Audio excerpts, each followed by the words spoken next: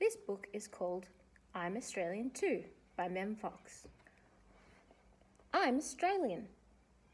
How about you? I'm Australian too. My mum was born in Sydney, my dad in Ballarat, and I was born in Melbourne. How Australian is that? How about you?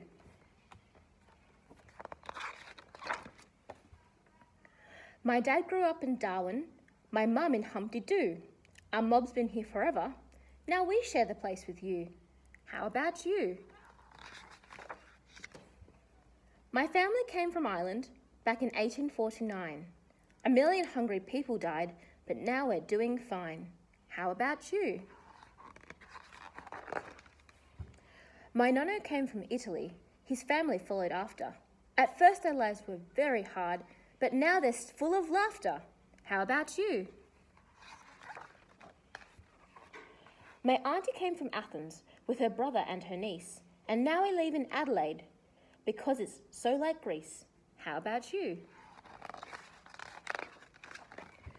My granny came from England and was homesick every day. Then she fell in love with Perth, and now we're here to stay. How about you?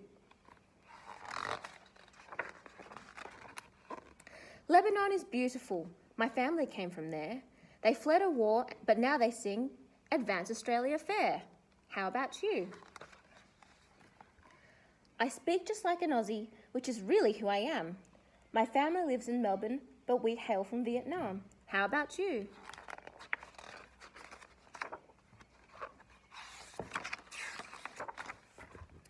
My parents come from China.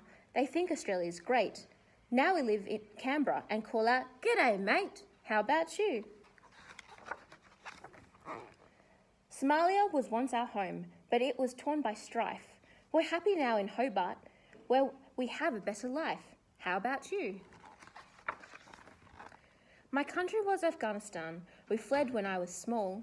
Our boat capsized, but we were saved. Now we're Australian all. How about you? Syria was where I lived, but then we had to flee. Our family's now in Brisbane, and we're as safe as safe can be. How about you? Sadly, I'm a refugee. I'm not Australian yet. But if your country lets me in, I'd love to be a vet. We open doors to strangers. Yes, everyone's a friend. Australia Fair is ours to share, where broken hearts can mend. What journeys we have travelled from countries near and far. Together now we live in peace beneath the southern star.